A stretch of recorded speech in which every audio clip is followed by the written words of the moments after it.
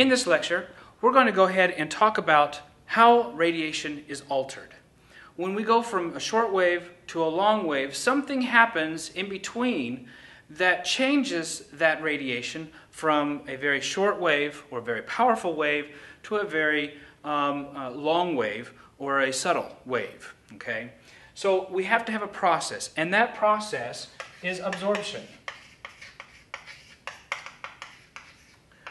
Energy is absorbed, therefore it is changed. And so if we go from short wave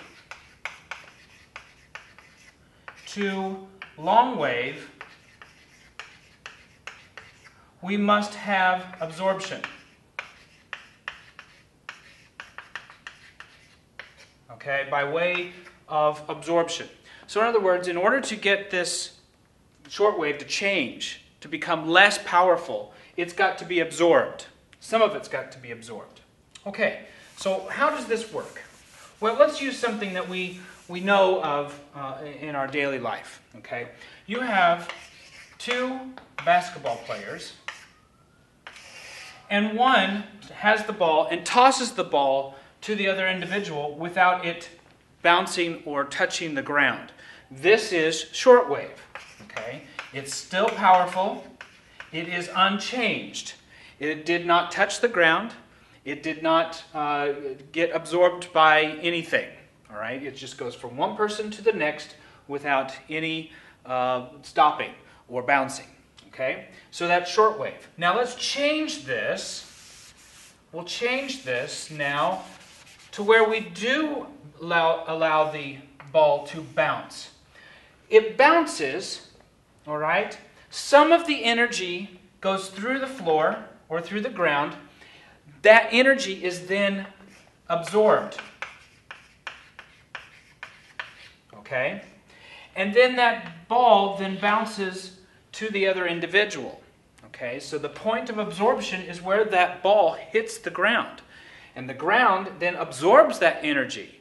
Then the energy is changed. So we get, for this first part, we get shortwave radiation. And then for the second part, when it goes at, when it bounces after the floor, then we get long wave radiation. Okay? Now let's see what happens if the individual has no other friend to play with. How sad. How sad. We can see what happens to energy over time if nothing is there to catch it. Okay? So we have an individual who has no friends and wants to play ball. Well, what happens is the individual throws the ball, energy gets absorbed on that first bounce, and then what happens? The next bounce and height of that ball is shorter. So we're dealing with distance here, it gets shorter, and it gets shorter in, in height too. And so then more energy is absorbed. Every time I draw a circle here, this is energy being absorbed. And so we continue to go smaller, smaller until the ball rolls to the side. Okay, continues to roll where there's no more bounce. Well, this is what happens. Once you shut off the energy, all that energy that started out as a short wave, this is short wave, and each segment here is long wave, but it's decreased energy. It's decreased long wave energy. Okay, so we can give me long wave, long wave, and little tiny long waves. Okay, all the way till there is nothing, no energy left. Okay, so that's how we can alter radiation. We go from short wave to long wave via absorption. The key word here is absorption. Now, let's quickly talk about how this works with a greenhouse model. With a greenhouse model, we have a greenhouse, and then we have solar radiation. Solar radiation comes in as shortwave radiation. We will call this now insolation. Insolation. Insolation. Insolation, not insulation or insolence, it's insolation. It comes in, the shortwave radiation comes into the greenhouse unchanged. It's powerful, it passed through the glass. Okay? And then it gets absorbed. Absorbed radiation. The next step is then long wave radiation. So it emits heat. Long wave radiation is essentially heat. The byproduct of used energy is heat. And so over time, it gets smaller and smaller. All right, now, now this is a cycle. So we get insolation, absorption, long wave radiation, and then dissipation over time. For example, if we were to close this greenhouse, completely make it dark during the day, and then all of a sudden we open up everything and then shut it again for a millisecond, we would see a temperature spike, just a little tiny one. That, sh- that indicates that we had some energy get absorbed.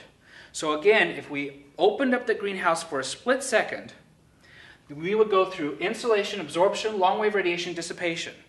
So, it's just like this basketball player throwing the ball and getting to the point where it bounces, bounces, bounces until it rolls. So, that is what happens with the green house model. Okay? The greenhouse model. And this is essentially what's happening with the greenhouse effect. But when we have sunlight during the day, it is continuous. We keep building that energy up in the atmosphere. All right. So then, what we've got again is we get a, a cycle, the radiation cycle. And let's go ahead and go through that. We've drawn it. Now let's go point by point. We'll go point by point. The radiation cycle.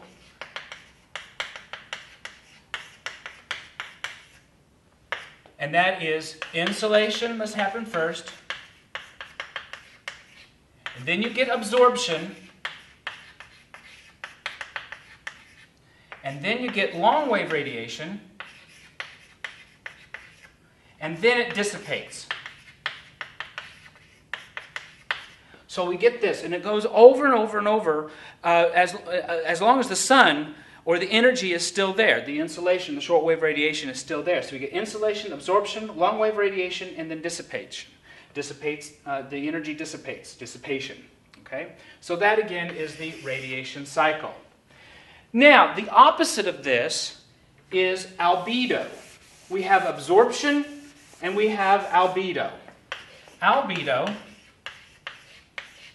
is the reflectance value of an object.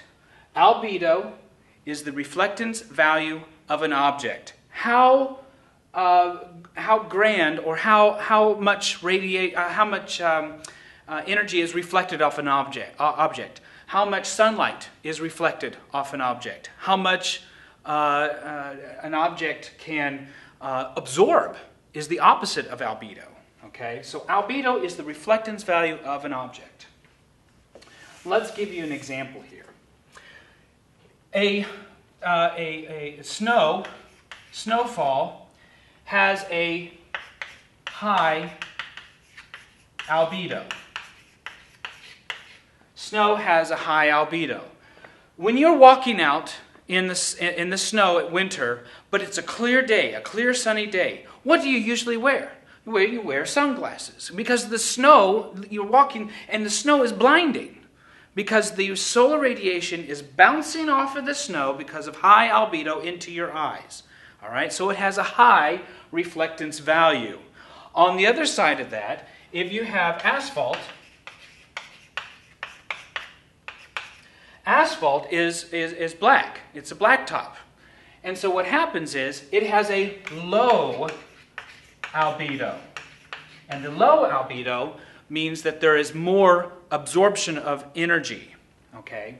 So we can associate albedo, the, the quality of albedo, with temperature. Snow, high albedo, results in low temperatures. Okay? And then if we look at the asphalt, asphalt is a low albedo surface, therefore we have a high temperature. So what we get here is that temperature is the result of how much radiation is being absorbed. So you have a high albedo, you, the, if you have ice, Uh, and then because the ice is cold doesn't make it cold. It's the, the, the ability for radiation to be absorbed, okay? So with snow or ice has a high albedo, it reflects most of that radiation back into the atmosphere, okay? Whereas asphalt or soil or trees, dark surfaces, dark surfaces have a low albedo, therefore the temperature will be hot. More energy is being emitted as a long wave radiation. So, this is a significant aspect of how radiation is altered. Here is low alteration of energy, here is high alteration of energy. Both of these allow insolation to be either reflected or used up.